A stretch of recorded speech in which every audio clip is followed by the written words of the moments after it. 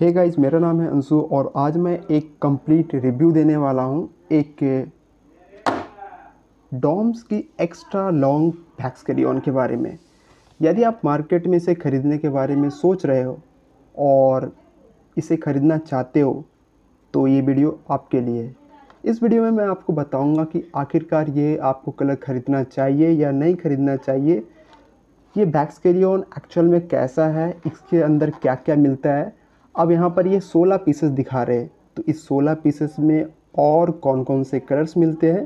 क्योंकि मार्केट में 12 पीस के भी आते हैं और 6 पीस वाले भी आते हैं।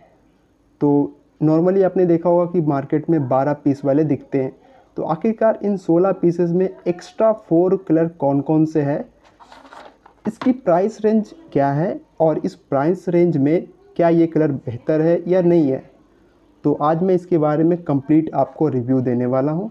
तो इस वीडियो को पूरा देखना और यदि आपके मन में कुछ क्वेश्चन होगा तो आप मुझे कमेंट्स में पूछ सकते अब बात की जाए इसके एक्सटर्नल व्यूज़ के बारे में तो ऊपर में ये 16 एक्स्ट्रा लॉन्ग वैक्स कैरियन जैसा कुछ लिखा हुआ है और इसमें यह भी बोला जा रहा है कि यहाँ पर एक ग्लिटर कैरियन मिलता है इस बॉक्स के अंदर और इसके पीछे देखा जाए तो इसकी प्राइस रेंज है, वो है थर्टी फाइव रुपीज़ ठीक है?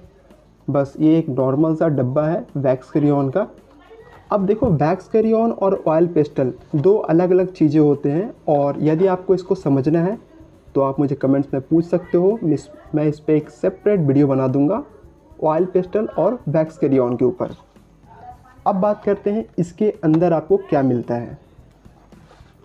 आपने इसके आउटलुक को तो देख लिया। अब हम बात करेंगे इसके इंटरनल में क्या क्या मिलता है? तो चलो मैं इसे खोलता हूँ पहले।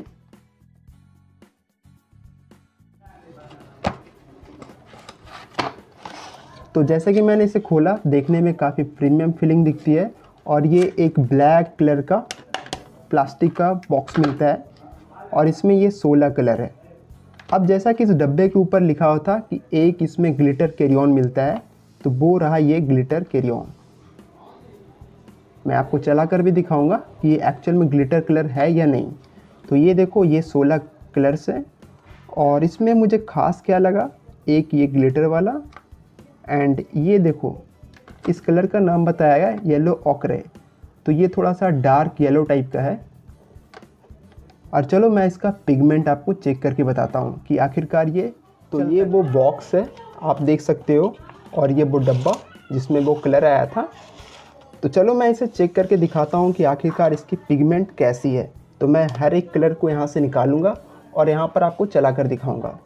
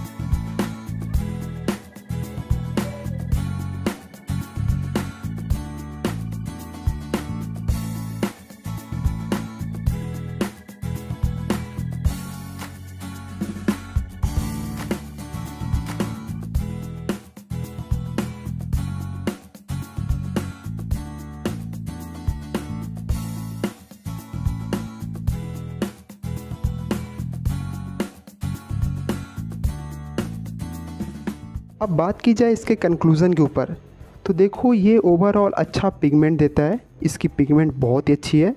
हाँ कुछ कलर्स जो है वो बिल्कुल ही सेम दिखते हैं। लेकिन यदि आप एक नॉर्मल कलर ख़रीदना चाहते हो तो थर्टी फाइव रुपीज़ के रेंज में ये एक अच्छा कलर है।